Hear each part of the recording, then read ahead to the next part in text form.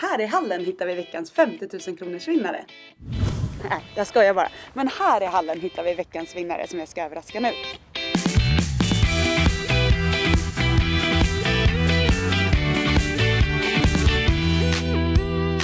Du får lukta men inte smaka.